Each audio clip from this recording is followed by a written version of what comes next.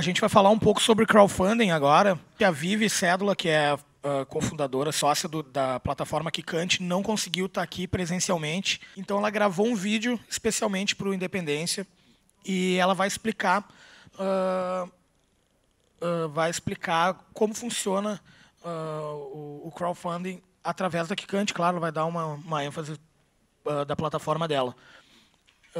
a gente está com o tempo tri apertado, então assim eu gostaria de continuar um pouco e acrescentar algumas coisas no que ela vai falar no vídeo, mas ainda tem o Rafa para falar e tem também a, a tour que ele que a galera quer fazer pelo estúdio e que ele vai uh, nos acompanhar pelo estúdio, mostrar a sala técnica e mostrar, uh, enfim, esse parque de diversões, essa Disneylândia do áudio aqui para gente. E então a gente para dar tempo de fazer isso, que eu acho que a galera deve estar tá tri curiosa de conhecer o resto do estúdio, né? Então, para dar tempo disso, a gente vai só rodar o vídeo da, da Vivi e depois vem o Rafa falar um pouco sobre produção e nos mostrar todo esse paraíso aqui. Beleza? Se liga aí. Olá, pessoal do Independência Digital. Eu sou Viviane Cédola, cofundadora da Kikante. Infelizmente, não pude estar presencialmente com vocês, mas gravei um vídeo super especial para dar umas dicas bem legais para que vocês lancem um Kikante de muito sucesso. Falando um pouco sobre a Quicante, a gente faz quatro anos de empresa agora, em outubro de 2017. E nesse período a gente lançou mais de 72 mil campanhas, que juntas arrecadaram e distribuíram para projetos mais de 57 milhões de reais. Então foi um grupo muito grande de pessoas variadas, pessoas que voltam e contribuem 100 vezes dentro da plataforma, pessoas que contribuíram só uma vez, mas o fato é que a gente teve muito projeto legal concretizado nesse tempo. Então, a, a gente na Quicante acredita que o recurso deve ser descentralizado, ou seja, é, não deve ficar a cargo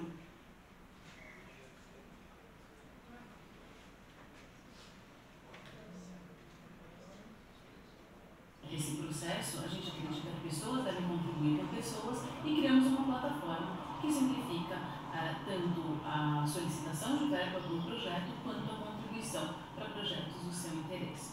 Então, isso resume um tanto o que a gente faz hoje. Somos a maior plataforma de crowdfunding do Brasil. A gente tem, além de crowdfunding flexível e tudo ou nada, flexível é aquela campanha que você fica com o valor arrecadado mesmo se não atingir a meta. Então, serve muito a projetos que já vão acontecer independente da meta atingida, mas que poderiam se valer de um dinheiro extra. E também campanhas tudo ou nada, que são aquelas em que você diz, Vivi, preciso de 20 mil reais para gravar um CD sem 20 mil reais eu não gravo e prefiro devolver o dinheiro para todo mundo, o que é também uma possibilidade. Uh, pensando no mercado de música, a gente vem trabalhando muito com a pré-venda de produtos, como CDs, DVDs, às vezes a pré-venda de ingressos para shows. Já tivemos nomes fortes como Leila Pinheiro, Lobão, Elza Soares, Banda Ed, uh, ah, DJ 1, enfim, várias pessoas de várias cenas musicais diferentes, pequenos, médios e grandes que arrecadam com a Kikante. O que, que eles todos têm em comum? Todos eles têm em comum uh, uma rede de pessoas que também se interessa em ver aquilo acontecer, ou seja, os fãs.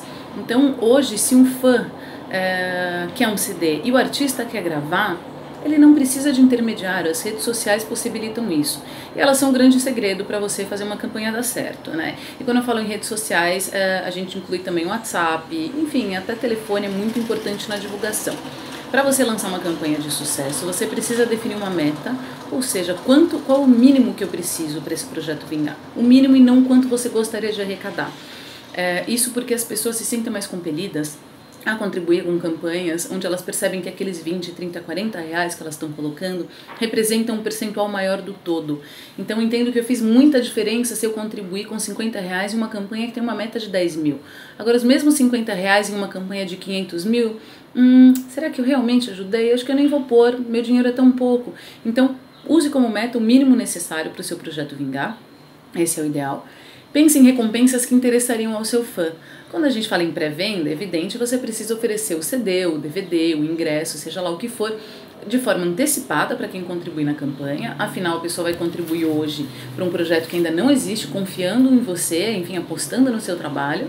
Então, entregue antes e entregue além, entregue a mais. Se você puder entregar algum item extra, se você puder enviar algum brinde exclusivo, se você puder, eh, de repente, pôr o nome desse fã no encarte, são itens bem legais a se incluir. E também experiências. De repente esse fã quer passar uma tarde no estúdio com a banda, ou ele quer jantar com o artista. Então tudo isso tem um valor agregado muito grande e contribui muito para o sucesso de uma campanha. Então você definiu meta, você definiu recompensas, você precisa criar um texto explicando o que é um novo projeto, e isso é parte da criação do projeto, entendo que essa é a parte mais fácil muito, muito importante ilustrar suas recompensas, né? Então, se você vai oferecer uma camiseta, mostra o mockup da camiseta, mostra a estampa que ela vai ter. A pessoa quer ver, ela tem uma sensação de compra. E é um, um hábito, enfim, nós somos consumistas, é um hábito que a gente já tem. Então, vamos nos valer desse processo que já existe estabelecido para conseguir arrecadar mais e melhor.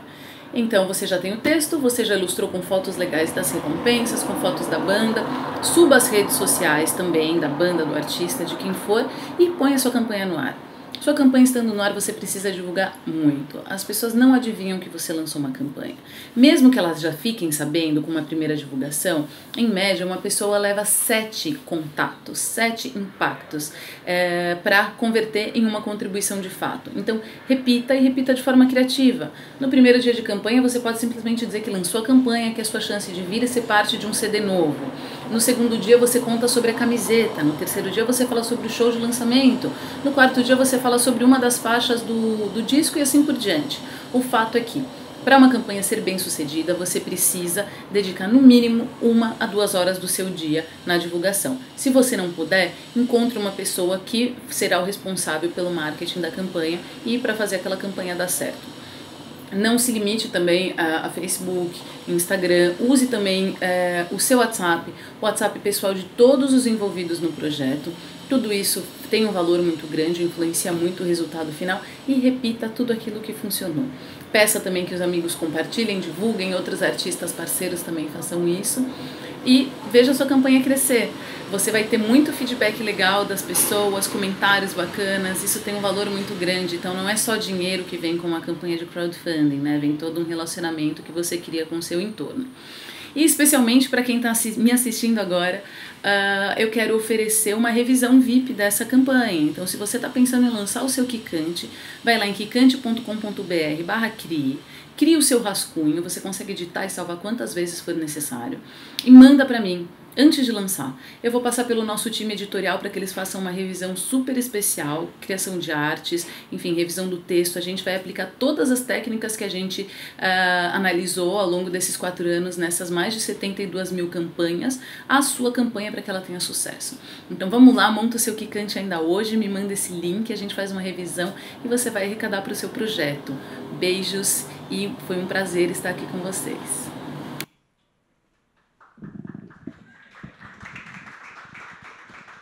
Essa foi a Vive. Uh, eu imagino que a galera te, esteja cheia de dúvidas, mas por causa do tempo, uh, vocês podem entrar em contato comigo. Tem gente que já me perguntou sobre como que eu formulo o orçamento corretamente do, do, do, do crowdfunding, qual é a qual é a porcentagem que fica para cada. Uh, por exemplo, uh, tá, falando rapidamente, enquanto o Rafa está indo ali no banheiro, uh, existe uma porcentagem que fica para a plataforma, né, para a Kikante. varia de 12, estou falando da Kikante, que é a que eu sei, é, provavelmente as outras plataformas, cada uma deve ter a sua taxa. a Kikante, na plataforma, na, no Tudo ou Nada, é 12%. Se tu alcançou, fica 12% para eles. Uh, na flexível, caso tu não caso tu alcance também 12, caso tu não alcance é 17%. Então, isso na hora de formular o teu orçamento, tu já tem que estar tá, né, uh, com isso na tua cabeça para adicionar esse valor a mais. Uh, se tiver alguma dúvida, quiser trocar uma ideia, pode me acionar pelo e-mail que vocês receberam da Kings, que é kob.inc.gmail, ou pode falar comigo pelo Facebook mesmo, Igor Assunção, que eu passo as outras informações que fico, eu, a gente sabe que ficou um pouco rápido, mas para a gente ganhar esse tempo e conseguir fazer a tour que a gente precisa e gostaria aqui, uh, a gente vai ficar por essas e não, não, não se acanhe mesmo. Entre em contato, perguntem as dúvidas que vocês têm, que eu vou ficar bem feliz em ajudar vocês. Beleza? Tem também o pessoal da Suca Elétrico, o Howen está por aí. Ele é um cara que também fez um, um crowdfunding uh, de sucesso e eu sei que ele é um cara muito acessível. Daqui a pouco vocês conhecem ele, eu não sei se ele está por aí ainda. Fala com ele também, ele tira umas dúvidas para vocês. Agora chamar uh, aqui ao palco o Rafa Hauck, que vai falar um pouco para a gente sobre uh, como é viver na Disney. Não, mentira. como é ser amigo do Mickey. Valeu. Bom, gente, em primeiro lugar, obrigado por todo mundo uh, ter aparecido aí. Espero que tenham tido um dia bacana aí na Audiporto. Tem o espírito da música independente é o que motiva esse espaço, né? Muita gente pergunta uh, qual é o sentido de um estúdio como esse num mercado onde cada vez é mais difícil de enxergar o, o horizonte do, do break-even financeiro, né? Mas na verdade uh, a gente acredita que justamente essas ferramentas que estão chegando aí hoje em dia, uh, como até indo um pouco além, assim, as blockchains, as maneiras como digitalmente esse conteúdo uh, hoje é monitorado.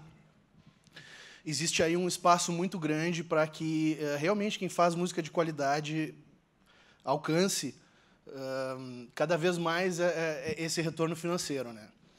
No, na última edição, o Fruê falou bastante e muito bem sobre uh, produção. Uh, quem teve a oportunidade de acompanhar, acompanhou uma excelente palestra. Eu não vou me prender tanto uh, no, no, aspecto, digamos assim, dos, dos, processos de produção. Eu vou falar um pouco mais sobre locais de produção, né? como assim como, como o grupo faz toda a diferença. A gente sabe muito bem, todos aqui têm experiência, de que um grande estúdio uh, com um mau arranjo não serve para nada. Né? Um bom microfone sem uma boa voz não atinge o objetivo. Então, em primeiro lugar, a gente aqui tem essa filosofia de puxar um centro de referência aqui para o sul do Brasil, algo que nunca antes uh, a gente teve à disposição, mesmo em São Paulo e no Rio de Janeiro com, com um nível de cuidado, carinho e voltado para um mercado uh, independente, acho que isso é, é relativamente inédito. Um, a gente pensa muito nessa coisa do streaming, porque a gente acredita também na, na veracidade, na, na, coisa verdadeira. Cada vez mais as marcas estão interessadas nisso, as pessoas estão interessadas nisso, os canais têm uh, playlists que não são feitas necessariamente com uma visão comercial por trás. A música que tu coloca hoje num Spotify que faz sucesso, ela não vai parar de tocar eh, mês que vem porque vocês pararam de pagar o jabá. Claro que existem maneiras da gente influenciar uh, esses uh, editores de playlist, né, para que uma música tenha mais presença ou não. Mas, em última análise, o que eu quero dizer é: o nicho não interessava tanto para a gravadora. Né? Se tu vendia 50 mil discos, era um fracasso. Agora, qualquer um de nós que vender 50 mil discos vai estar extremamente contente. Né? E eu acredito assim que, que cada vez mais a gente tem que investir em ser um músico melhor, em ser um intérprete melhor, em tocar bem junto com a banda. É isso que interessa. Se isso for alcançado, sinceramente, se fizer o disco em casa, vai dar certo. Né? A gente teve uma experiência do, do Ian, acho que todos nós acompanhamos, ele ganhou o, o Grammy com um disco gravado em casa, lá em Pelotas. E isso está acontecendo cada vez mais. Então, o que, que, eu quero dizer com tudo isso? Eu quero dizer que aqui a Audioporto não se enxerga como uh, uma ilha. Pelo contrário, eu acredito que cada vez mais a gente possa influenciar e, e, e ajudar a outros estúdios, a outros produtores, a, a, outras cadeias produtivas da nossa área, a entregar cada vez um produto mais bem, uh, com um potencial melhor. Né? Nesse sentido, eu queria falar um pouco uh, dessa coisa da produção uh, independente nos nossos ambientes, na, na, casa. Né? A gente precisa ter um cuidado com a acústica, a gente precisa ter um cuidado